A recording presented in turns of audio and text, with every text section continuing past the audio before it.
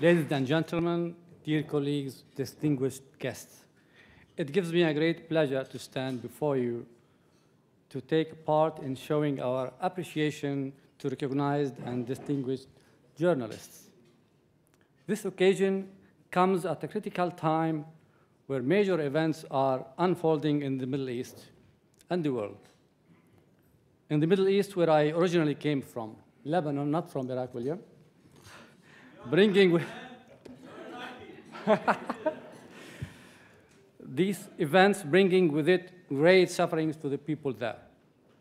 These are very tough times for journalists, especially in the Middle East, where there's an immense need for a reliable and objective journalism, given that most of the media outlets there are owned and funded by states, and where reality and truth are struggling to prevail.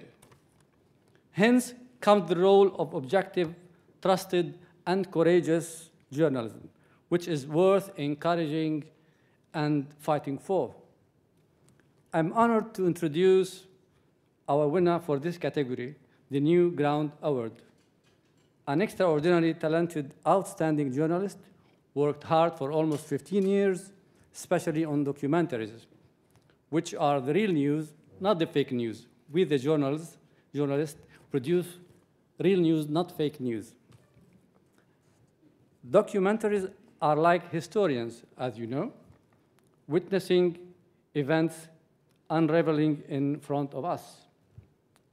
Our winner has chosen to cover the hotspots in the Middle East, from Syria to Yemen, focusing on the humanitarian and social aspects arising from these conflicts.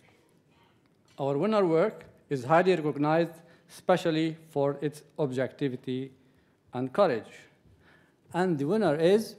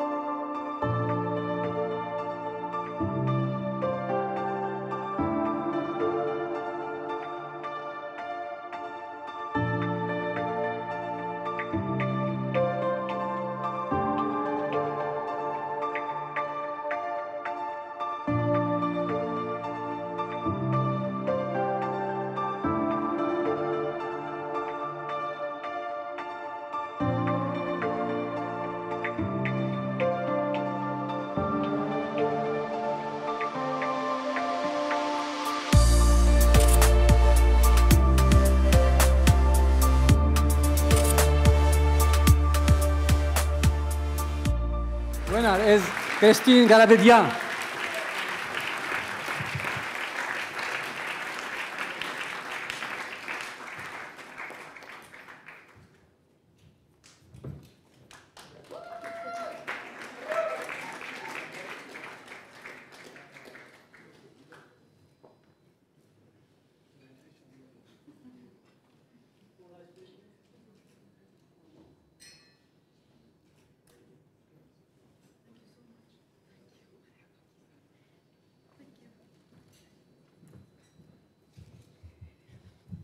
Hello, everyone.